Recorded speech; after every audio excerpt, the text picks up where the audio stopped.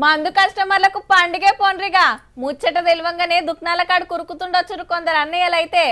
అవు మరి మందు తక్కువ చేస్తారట. కోటర్ మీద పది హాఫ్ మీద ఇరవై ఫుల్ మీద యాభై తగ్గే ఛాన్స్ ఉన్నదట. బీర్ తాగేటోళ్ళని సుతా నారాజ్ చేయొద్దని ఓ పద్దించొచ్చురట కానీ ఇంకా ఫైనల్ కాలేదు. ఆప్కారోలు సర్కార్కు దరఖాస్తు పెట్టిరట. వాళ్ళు ఓకే అనుడే ఆల్చం మంద అగ్వైతుంది అన్నట్టు ఈ మురిపే ముద్దుగానే ఉన్నది కానీ అస్సలు సంగతి గీ వార్తల చూడుది మందు మీద మంచి చర్చ నడిచింది అసెంబ్లీలో. ఆమ్దాన్ కోసానికి అడ్డగోలుగా అమ్మిస్తున్నారని కరమైనరు కాంగ్రెస్ ఎమ్మెల్యేలు. ఇంతగానో ముప్పై ఏడు వేల కోట్ల రూపాయలు ఏంటండి ఆదాయం? అంటే తాగండి తాగండి తాగండి. అమ్మండి అమ్మండి అమ్మన్నట్టుగా ఉంది ఇది. కట్టుదిట్టం చేసి గుడంబ నివారణ చేసి అన్ని పగడ్బంద్ చేసినందుకు ఇవన్నీ సేల్స్ పెరిగినాయి కానీ ఆ రోజు వాళ్ళ జేబులోకి పోయేటివి ఇవాళ గవర్నమెంట్కి వస్తున్నాయి అధ్యక్ష. అది దాని దీనికి తేడా అధ్యక్ష.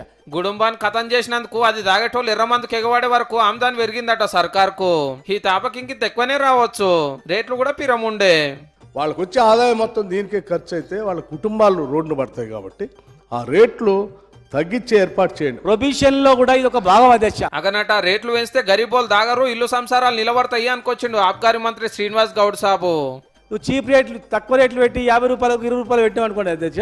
ఛాయ్ తాగే బదులు దాదాపు మంది అవుతారు ఇంకెక్కువ అలవాటు అయిపోతుంది అధ్యక్ష. మరి నాలుగు వందల కొత్త వైన్స్లు నూట యాభై కొత్త బాల్ ఎందుకు పెట్టినట్టు? ఊళ్ళపూట గల్లీకో బెల్ట్ షాప్ నడుస్తుంటే దేనికి సపోర్ట్ చేస్తలేరు? నిజంగానే రేట్లు పెరిగితే తాగుడు తక్కువ అవుతుంది అనుకుంటే లాక్డౌన్ టైంలో వెయ్యి రూపాయల బాటల్కు ఐదు వేలు పెట్టి కొనుక్కోరు సాటుంగా. ఇంతకుముందు మన ఊర్లలో పోదామంటే నైట్ టైం కొద్దిగా భయం ఉండేది సార్. ఇప్పుడు డే టైంలో కూడా ఎప్పుడు పడితే అప్పుడు అందుబాటులో ఉంటే తాగుతున్నారు. కనీసం ఆ షాపుల వేలలు తగ్గించండి sir.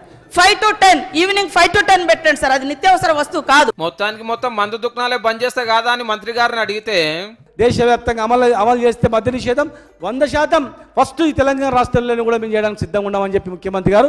కొన్ని రాష్ట్రాలలో ఎవ్వరు కాలు మందు దుకాణాలు బంద్ చేసిర్రు. మన తానేమో మంచి మంచి సవలతులు చేస్తున్నారు. ఇక హైదరాబాద్ ట్యాంక్ బండ్ మీద నీరాకేఫ్ కట్టుడు సురువైందని ఫోటోలు చూపించిండు. అట్లనే కళ్ళు గొప్పతనం గురించి తాడి చెట్టు ఎట్లా పుట్టింది మొత్తం చెప్పుకొచ్చిండు శ్రీనివాస్ గౌడ్ సారు. గొప్ప ఆయుర్వేదికమైనటువంటి డ్రింక్ అధ్యక్ష. దేవతలందరూ కూడా రొటీన్ వర్క్ ఉంది మాకు. రొటీన్గా ఇట్లే ఉంది. మాకు కొత్తదనం కావాలి. ఏందని చెప్పి దేవుని ప్రార్థిస్తే ఒక ఈ చెట్టు ప్రదర్శి ప్ర చెట్టు పుట్టించినట్లు ఆ చెట్టును ఈ కార్మికుడు గీసినట్లు దేవతలు దాగే అమృతం ఇది అని చెప్పి